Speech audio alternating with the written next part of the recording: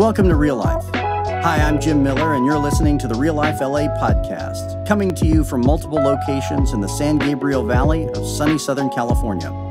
We're a church for everyone, and we exist to lead people to Jesus, a community of grace with a God sized vision that reaches from generation to generation.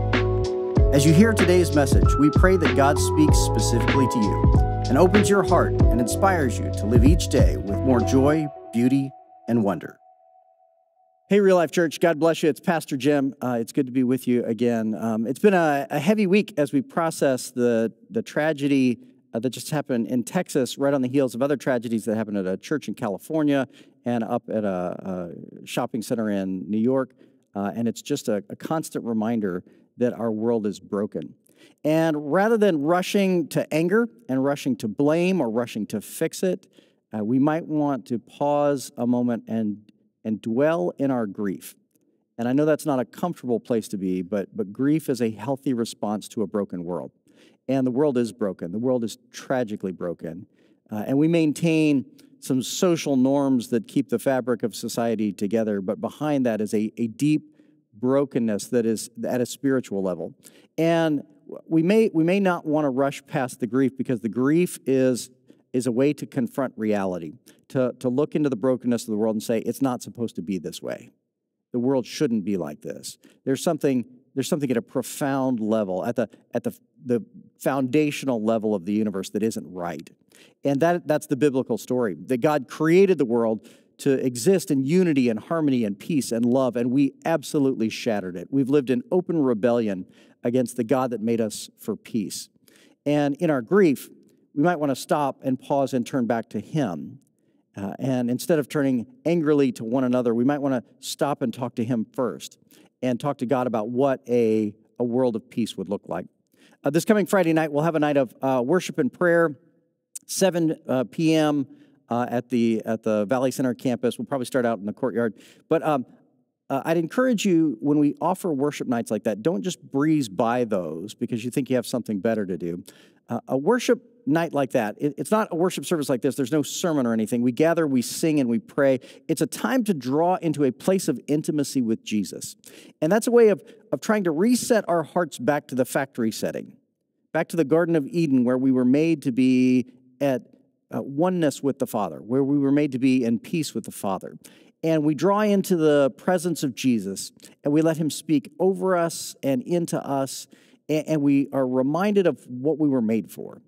And we, we need those moments of restoration more often than just on Sundays. Uh, and if you're not in a regular habit of worshiping on Sundays, if today's an exception to the rule, we, we need a habit of daily worship where we are constantly turning back to Jesus uh, and saying, I want to be restored to you, and I want you through me to restore our world uh, because the world is very broken and it's a, it's a painful, vulnerable reality to face. But when we face it with Jesus, uh, we can do so with hope and with grace. Uh, let's take a minute, let's pray together.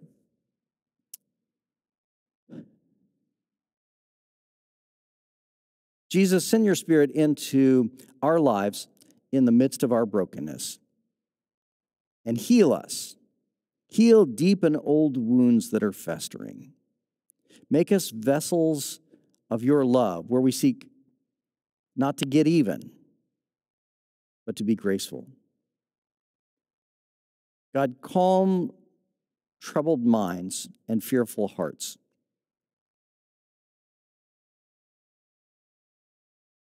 In this moment of worship, we want to draw close to you because that's where we belong, and that's how we were made, and that's what we need. So may the words of my mouth and the meditations of our hearts be pleasing in your sight. Lord, our strength and our Redeemer. Amen. We're going to continue in our series of studies on the letter to the Galatians, New Testament letter written by the Apostle Paul, first century preacher and church planter, written to a group of Christians in the area of Galatia, modern day Turkey. And remember, this is Paul's most angry letter he starts out on an angry note. How could you, how could you Galatians have turned away from the message I preached to you at first, which was a message of freedom? Jesus died for you and set you free. And now you're running back to the law and trying to earn your way to heaven by doing good things. You're never going to be able to do that. Why would you go back? And so Paul is mad at the Galatians And then he gets mad at Peter and he talks about how he called out Peter and Barnabas in front of everybody else. And then he's mad at James and he gets in a fight with James. And we looked at that last week. Uh, and today, in Galatians chapter 4, Paul softens. And we get to see some of the gentle heart behind all of Paul's passion and vigor. Paul is out to save the Galatians from going astray. But we see now in Galatians chapter 4, he does that from a spirit of love, from a place of love. And so we're going to read in Galatians chapter 4 and look at uh, the, the motivation that has uh, brought about all of Paul's passion thus far. Galatians chapter 4 at verse 12. Uh, listen to God's word. I plead with you, brothers and sisters, become like me, for I became like you. You did me no wrong. Um, the better translation here would be, You were nothing but gracious to me. That's how we'd say it today. I came and visited you, and you were nothing but, but sweet to me. You're nothing but gracious to me.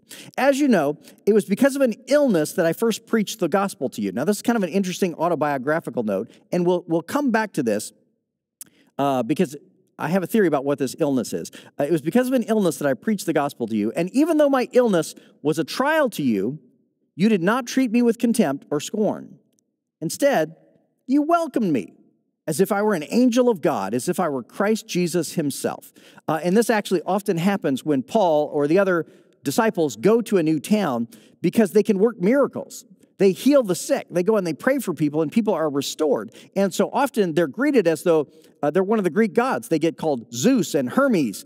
Uh, and so often Peter or Paul will have to say, hold on, hold on a second, guys. We're just normal folks. We're just normal folks, but we know Jesus. And that's how we do what we do here. And uh, he says, You welcome me as if I were an angel of God or Christ Jesus himself. It wasn't because he was a nice guy. In fact, he was kind of a grouchy guy. And it's not because he was a great speaker. In fact, we have reason to believe he was not a particularly good speaker. But he would go and work miracles. And so they would treat him like an angel. Where then is your blessing of me now? I can testify that if you could have done so, you would have torn out your eyes and given them to me. Have I now become your enemy by telling you the truth? Those people, and here he's talking about the, the guys from Jerusalem, from James, who have come down to preach the law again, to tell the Galatians, you're not free, go back and follow the law. Those people are zealous to win you over, but for no good. What they want is to alienate you from us so that you may have zeal for them. It is fine to be zealous, uh, now, Paul's going to go off on a little bit of a tangent here. This verse is just Paul wandering on a tangent, and this is how he writes It's fine to be zealous, provided the purpose is good, and to be so always, and not just when I'm with you. Uh, Paul does what one biblical scholar called he, he goes off on a word. And so Paul's actually talking about how people have come from Jerusalem to lead the Galatians astray, and he says the word zealous a couple times, and then he decides he's going to pontificate on the word zealous. And it's not really on topic anymore. He's wandered off topic because he's talking about the, they just want to be zealous for you, so you'll be zealous for them. Speaking of zealous, it's good to be zealous, but not all the time. Sometimes, always, but not when, just when I'm with you, but, but to be zealous for the right. He, he goes off on this tangent. And in terms of literary style, it, it is just annoying. But that is how Brother Paul writes. Okay, so now verse 19, he comes back. My dear, dear children, for whom I am again in the pains of childbirth until Christ is formed in you. How I wish I could be with you now and change my tone because I am perplexed about you. Okay, before we get into the the meat of what Paul wants to say here, let me tell you about that illness. Because Paul says it was because of an illness that I preach. I first preached the gospel to you. Um, I, I, have a, a, a, running theory on what this is. Uh, I think Paul had a problem with his vision. Uh, the, the word illness in our minds in modern English makes you think of germs, makes you think of a sickness. But the uh, Greek word here is asthenia, which, which means any kind of weakness. And in fact, asthenopia is a weakness of the eyes. And so I think Paul is actually referencing uh, a, problem with his eyes because he says later in this text, I, I came to you because of an illness and it was a burden on you. They had to take care of him. And you, you know that you would have torn out your eyes and given them to me if you could. I don't think that's just a random line or kind of graphic, gross line. I think he's referring to the fact that he had a vision problem. Back in the ancient world, they had not perfected eyeglasses the way we have today. In fact, there's one uh, ancient story about Nero, the emperor of Rome in 65 AD, watching the gladiators kill each other through an emerald. He used the, the bent curvature of an emerald to magnify the fight so he could see them, sort of a kind of a, a gory, graphic uh, image of the, the lust and power of the Roman Empire. Look, we're looking through a precious gem to watch people kill each other. And, and there was a, a powder that was developed uh, called Phrygian powder that was uh, popular in the first century world. They were working on eye problems, but they didn't have eyeglasses.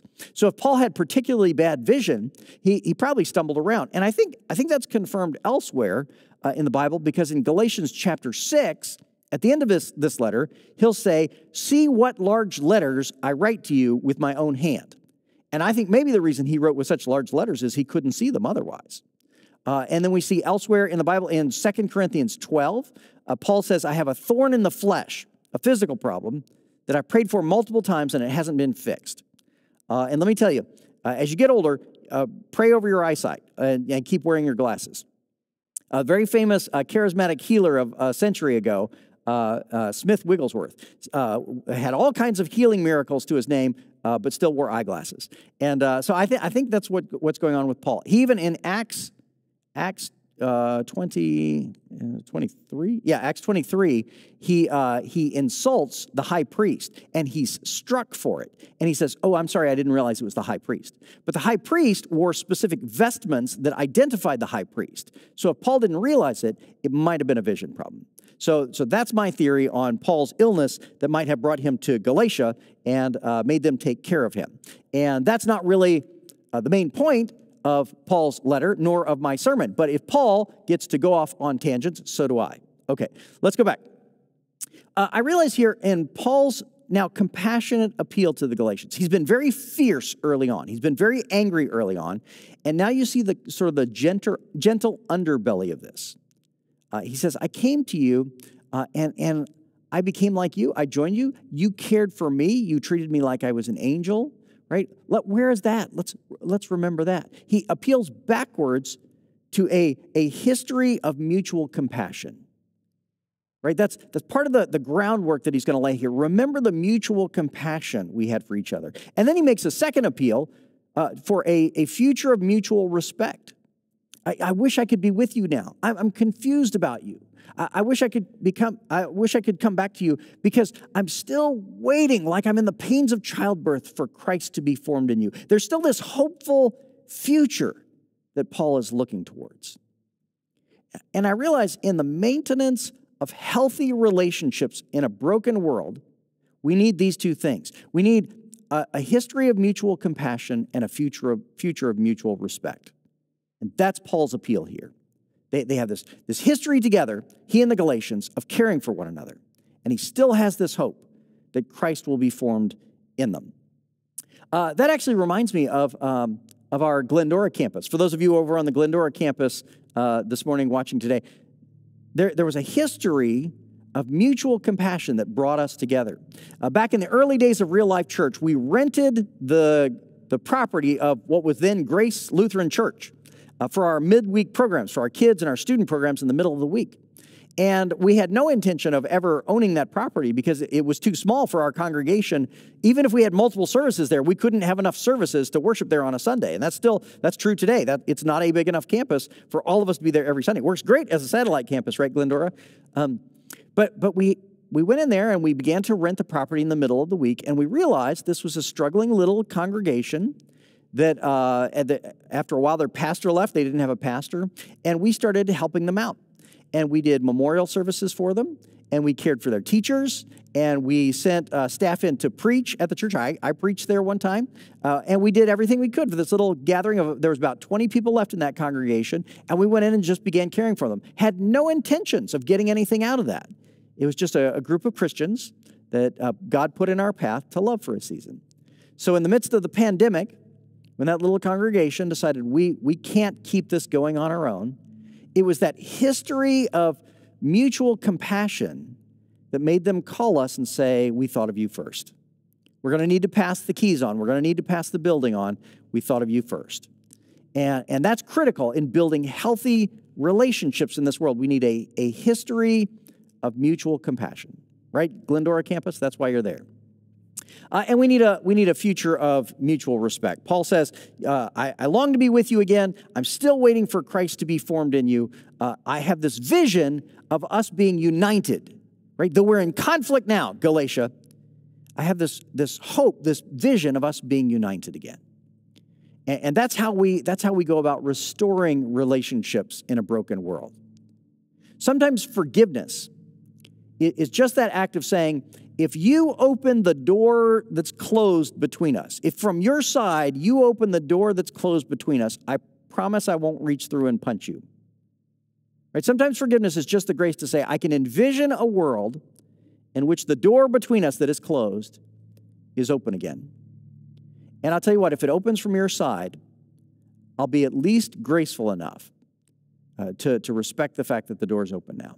And sometimes that's the first step of forgiveness, just being willing to envision a future in which we're graceful to one another. And that's what Paul's doing now. He's been fierce with the Galatians. You foolish Galatians, who's bewitched you? You turned aside. It's a false gospel. Uh, Peter did it wrong. James did it wrong. Don't turn aside. And now we see the gentle, the gentle, uh, the underside of that, the, uh, the background of that. He's compassionate for the Galatians, and he envisions a day in which they're united again, in which they respect each other again. Uh, and I realize when, when Paul speaks this way, this now, this now jibes with the theology that he's teaching in Galatia. Because in Galatians, he is, he is fierce to contradict the legalists who are saying the way you satisfy God is following all the rules. And the rules are strict, and you have to be legalistic about it and enforce them on everybody else. And that created all kinds of guilt, and that created all kinds of judgment. And Paul is, is fierce to say, no, no, no, we've been saved by grace. Jesus died on the cross for us when we didn't deserve it, and we can't deserve it. And we don't need to deserve it. You just have to accept it. And that then shapes the way Paul sees his relationship with the Galatians. Uh, Jesus can look back on a history of compassion for us and say, I came to you when you were in open rebellion against me. I died for you at your hands, and it is through my death that you are saved. I have this, this deep, rich history of loving you before you recognized me. Don't forget that. A, legalist would say, You owe me. You should feel guilty for all that, and you better get things right because look at what all I did for you. And there's some religious people in this world who take the message of Jesus and contort it and twist it to make it a, a guilt evoking message. I, I, did all these good things for you. Look at that cross up on the wall. Jesus still up there on the cross because of you. That's not the message of the gospel. Jesus died to take our guilt away, not to make us feel more guilty. The appeal of the gospel, the appeal of Jesus to us is look at the compassion I have always had for you. I have, I have always loved you. If you've grown up in a religious context that made you feel guilty, that used guilt to manipulate you, I apologize that there are religious institutions that have so distorted the message of Jesus, a message that was to, to set us free from guilt, and they've used it to make more guilt.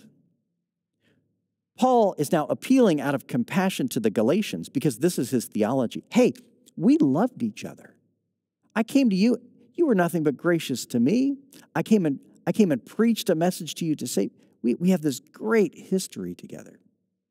And then he looks to the future, and this is exactly what Jesus does with us.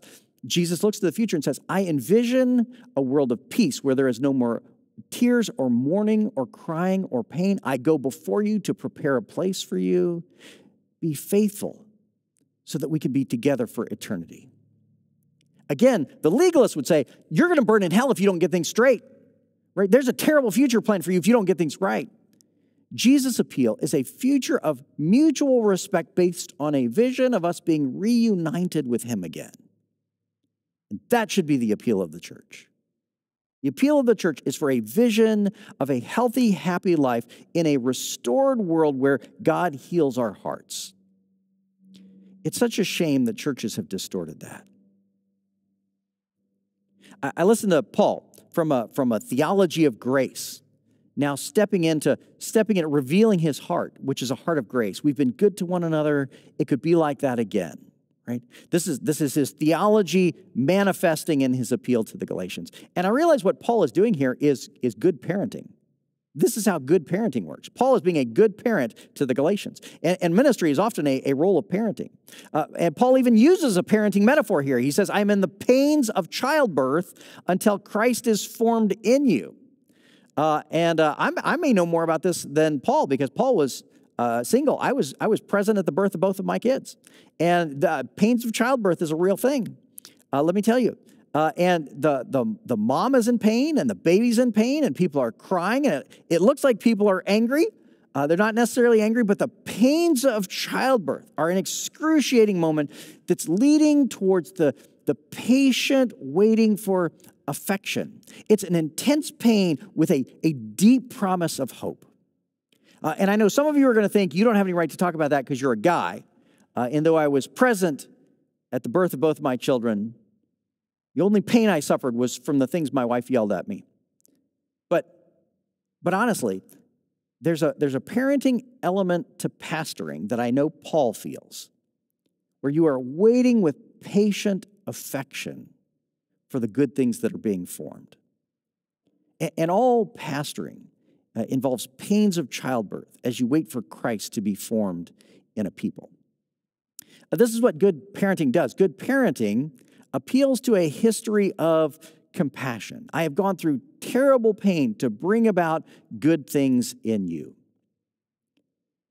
I remember uh, uh, a teenager who was in one of my previous churches back when I was a youth pastor. And she said, uh, uh she was a, a, pastor's kid as well. Her dad was a pastor. And she said, uh, I, will, I will never doubt that in a, in a bad time, in a rough time, that my dad will be good to me. Uh, because the one time he caught me sneaking out of the house at night, I, I climbed out the window, I snuck out of the house at night, I went back with my friends, and when I got back home, dad was sitting in the living room. He had, he had found out. Uh, and I walked in the door and I was shocked. There was my dad waiting for me. And he said, I want you to know I love you. And I just don't want anything bad to happen to you. And that was it. And she said, I will never doubt that when the chips are down, my dad cares for me. Because they had this history of compassion to which to appeal.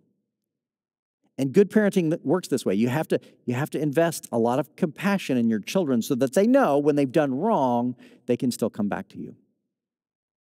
Now, I know some of us will look back and say, I did it, I did it wrong, it's too late. They're adults now, and I burned that relationship. The, the front windshield is bigger than the rear view mirror for a reason, right? The front windshield is what's most important. So in parenting, we have a, a history of compassion that we appeal, appeal to, but we also uh, have a, a future of mutual, mutual respect that we look forward to, just like Paul with the Galatians. We keep our eyes on a vision of a world where we're reunited with our children. Uh, and this is important. Uh, I remember years ago, I had a mentor who was a much older guy than me. He was in his uh, near his retirement years, and his children were all adults. And I remember him telling me, he said, "Jim, one of my favorite parts of fatherhood is having adult relationships with my children." Because when you raise them, you're their caregiver, you're their disciplinarian, you're their teacher, and then one day they reach maturity, they reach adulthood, and your relationship shifts. And while you may always be dad, you're a little bit more of a peer with them because they are adults with you. And he said one of the things he liked best was being able to have mature adult conversations with his mature adult children because he had invested for years to bring them to the place of maturity where they could have a, a relationship of mutual respect with one another. Uh, and I'm like, I'm, this is on my heart now because I have a graduating senior, uh, and she is still very young. But as parents, you invest with the hope that your affection will find its way to maturity. Before my kids were born, I used to pray, Jesus, don't give me a child that wouldn't belong to you. And you invest in your kids along the way in the deep hope, the deep prayer that your affection will manifest itself in a mature adult who loves Jesus as well. That's good parenting. So, for all of Paul's ferocity in the book of Galatians, in the letter of Galatians, for all, of his anger, there's a deep compassion that underlies it. Galatians, you and I loved each other. Remember that? I, the day will come again. I, I, I trust that Christ is being formed in you. The day will come again where we see each other and can care for one another. And, and in saying that, in parenting the Galatians, Paul is mirroring God. Because God says to you and I right now, I loved you before you were born. I loved you before you knew my name. I walked the earth 2,000 years before you did to die specifically for you. Remember that compassion that I've had for you. And I have a vision for our future together. If you'll trust me, I'm not going to play with your guilt and I'm not going to manipulate you. I'm going to call you to a place where you are a mature, independent adult who knows me and loves me and stands on your own two feet. Uh, in, his, uh, in his book, The Screwtape Letters, uh, C.S. Lewis writes uh, a, group, a, bunch of letters that are uh, purportedly written from one demon to another demon, teaching him how to tempt human beings and lead them astray from God, um, whom he calls the enemy. And he says, uh, at one point, he says, uh, he says, God actually loves these little vermin. And the, the more they draw close to Him, the more they become fully themselves. And that's what God wants for us that we would grow in maturity until we stand on our own two feet and live in relationship with Him as mature adults. That's, that's Paul's theology, and so that's Paul's pastoring. Uh, and good parenting should be good church life. Uh, this, this is how churches ought to be formed. Uh, churches ought to do the same two things that uh, Paul is doing here. They ought to be able to appeal backwards to a history of compassion, and they ought to be able to appeal forwards to a vision of mutual respect. Legalistic churches will always try to use guilt and manipulation to get what they want out of people. There's a, a kind of brittle utilitarianism that comes from a lot of churches out there today, even very successful churches. Utilitarianism is the belief that you do the most good for the most number of people. And there's some churches functioning like that. But the problem is, utilitarians often disrespect the dignity of the individual. Uh, I heard a pastor uh, tell a story about going to be a guest preacher at a very big church. And before he went up on stage to give his talk, he went back to the nursery where some volunteers were taking care of kids so their parents could attend the talk. And these volunteers couldn't attend the talk because they were off in the nursery taking care of kids. And he walked back into the nursery and he said, Hey, I just want you to know I appreciate what you're doing back here. I appreciate you volunteering and giving your time this way. And he said, One of the volunteers in the nursery turned to him and said, You're the only person who's ever said that. And that's a kind of utilitarianism that says we're going to do the most good for the most number of people and we're going to ignore the few people in the back whom we can disregard. And Jesus never does that. Jesus never disregards the dignity of the individual for the sake of drawing a crowd. And churches that play on guilt and manipulation in order to get big crowds together are missing the heart of the gospel, which is a God who appeals back to compassion and, and looks to a future of mutual respect because he cares about every single one of us individually. Uh, good churches uh, have taken up um, the, the temptation that was offered to Jesus before he began his ministry. Uh, Satan appears to Jesus when he's off in the wilderness. And uh, at one point he says, If you'll worship me, I'll give you all the kingdoms of the world. I'll give you power over everybody if you'll only turn and worship me. And there are churches which have, have lost the gospel, which are happy to take control of, over people regardless of who they have to worship to do it. Uh, there's a, a famous novel by Fyodor Dostoevsky called The Brothers Karamazov. And in The Brothers Karamazov, uh, Dostoevsky crafts a parable. Uh, one of the most famous chapters in this book is called The Grand Inquisitor. And in The Grand Inquisitor, Dostoevsky imagines a scene back during the Spanish Inquisition in which Jesus comes back to the earth and is walking around the earth. And the Inquisition, which is torturing people to get them to believe in Jesus, torturing them to come to faith, takes hold of Jesus and arrests him. And there's a scene where a grand inquisitor, a leader in the Inquisition, goes and interviews Jesus in a jail cell. And he tells Jesus, The one mistake you made was rejecting the temptation of Satan that he gave to you. When he said, You should take power over the world, you should have said yes. Because if you did, you could have made the world good. And in the parable, Jesus stands up, says nothing, gives the inquisitor a kiss on the cheek, and walks away. The danger for successful churches today is that they would drive a kind of utilitarianism that seeks out big crowds and tries to control them and manipulate them and guilt them into doing what's right and loses track of the gospel that says you are loved and dignified as an individual because Jesus chose you. You're not a number in the crowd. Jesus chose you. And he wants you to remember this history of compassion in which he has pursued you fiercely. And he wants you living in this vision of a future in which he, he longs for you and him to be reunited again. That's the gospel, and that's Paul's message to the Galatians. So, here in this text, we see Paul soften, soften quite a bit. We see Paul turn off of uh, his, uh, his fierce message that, that he began, uh, fighting with the legalists. And now we get to see the fact that Paul himself is not a legalist. He's not going to appeal to their guilt, he's not going to appeal to their debt, he's going to appeal to them in love. And in so doing, Paul models for us the gospel, the love of a God who longs to redeem us. Let's take a minute, let's pray together. Jesus, I thank you for everything you did before we walked the earth to prepare a place for us, to, pl- to plan lives for us in which we might draw close to you and know you and be parented by you. I thank you for your deep affection, which will not let us go. Teach us now to go out into the world in love and embrace those who don't know you. Teach us to go out in compassion and hope, to forgive those who have wronged us with a longing for mutual respect.